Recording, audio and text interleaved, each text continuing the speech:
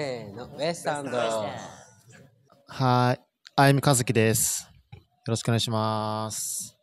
はい、僕はエトです。よろしくお願いします。はい、ケンです。よろしくお願いします。はい、えー、ギヨンです。よろしくお願いします。えっ、と、東から西に、あの、太陽が沈むように、あの、太陽って常にサイクルするじゃないですか。一日の終わりは次の日が来て来ると思うんですけど、僕たちもみんなも必ず明日があります。 I think our music process is like um, through our stories and what we want to um, um, what we want our audience to you know know about um, ourselves and we want to share you know a message to them and I think that is a big factor when it comes to you know creating music you want to tell a story and that is i think the base of our most of our music yeah we just want to tell a story to the audience and that's the creative part of like our music 僕たちはそんなにまだそのライブに出たことはないんですけど、でもその昨日出させていただいた、昨日モールで ライブをさせていただいたんですけど、そこでこうたくさんの方にあのこう初めてあの僕たちのことを見てくれたんですけど、そんな方々でもそのすごくこう応援してくれたり、歓声をこう出してくれたり、すごいキャーって言ってくれたのがすごく僕たちの中ではあの刺激があって、すごくあのいい時間でした。はい。パフォーマンス、パフォーマンスに、まあ、うん、類似するかどうかわからないんですけど、まあ、YouTube、僕たち YouTube をやってるんですけど、その、日本だけじゃなくて、まあ、フィリピン、あの、マニラでも撮影をさせてもらったりとかして、その、たくさんのところに、その、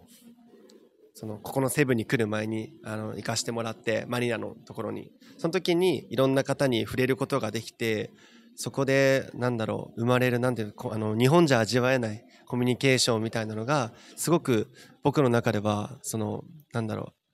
初めての経験ですごくなんか今後の人生に絶対にあの心に残ってくる物語だなって思いました。まあ、前回もあの、フィリピン、あの、来させてもらったんですけど、まあ、簡単にね、あの、コスプレとか日本に対するアニメの熱がめちゃくちゃ、その、フィリピンは高いなと思いました、すごく。で、再現性もすごく高いし、その日本のアニメに対して、すごくフィリピンの方たちがリスペクトしてくれてることが、まあ、僕たち日本人からしたらすごく嬉しいなと思いました。actually this is my first time being in the philippines as a idol so um for me you know performing and being back in my home country as an idol and especially with being w- just one um, filipinos in this japanese group um makes me feel um special and i feel like i'm representing the whole country as well so you know, I'm just really, really happy to be here. 僕たちはあの日本人としてあのその 英語はあんま喋れないんですけどあの世界に挑戦することをコンセプトにして活動してます。であの日本の音楽だったり日本のカルチャーをあのよりたくさんの人に知ってもらいたいし世界中のいろんな場所に行ってフィリピンの人たちとかに知ってもらいたいのであのただ世界中に行くんじゃなくてよりそのアドベンチャードリームスっていう曲を作ったんですけどそのアドベンチャードリームスっていう曲のタイトルのように世界中を冒険のように駆け巡って自分たちの夢を叶えていくっていうような曲なのであの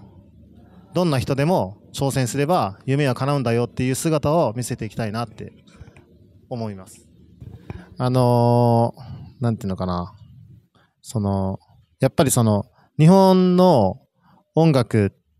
そのフィリピンの中で今結構20年前とかでやっぱり止まってると思うんですよ。すごく。で世界では K-POP が流行ってて日本も K-POP が今流行ってるんですけどフィリピンも K-POP がすごく流行ってます。でも日本の中で今すごく新しいあのー音楽っていうものがたくさん出てきてるのでそういうその日本でも新しい音楽ができるんだよっていうところをあのフィリピンの人たちに見せていきたいですね。K-POP のスタイルに真似たわけではないですけど、K-POP みたいにかっこいい音楽も日本にはたくさんあるよっていうところを見せていきたい。Yeah. Thank you very much. Thank you very much.